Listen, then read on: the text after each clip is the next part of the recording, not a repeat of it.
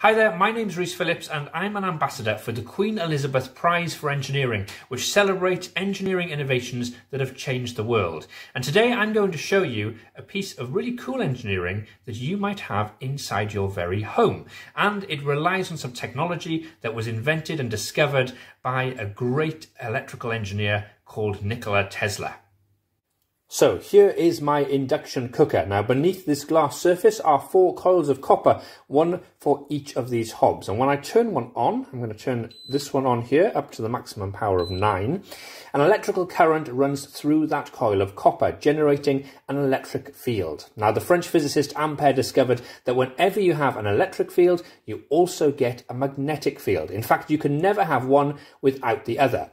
Now at this point there's no heat being generated. I can put my hand safely here without feeling anything at all. But when I put the pan of water above that coil, the magnetic field generates electrical fields in the iron in the bottom of the pan. And since iron isn't a very good conductor of electricity, it heats up, and this is where the heat comes from that then cooks your food. Now, it only works with pans that have iron in them. If your pan is made of copper or aluminium, for example, those metals will conduct electricity too well, and so they won't actually heat up.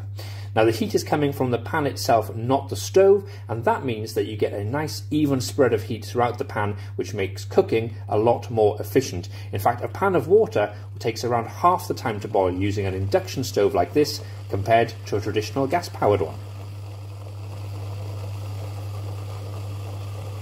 So there you go, a great piece of engineering that you can find at home. Now don't forget to help us celebrate incredible engineering by sharing a photo or a video of an innovation that inspires you and use the hashtag engineering inspiration.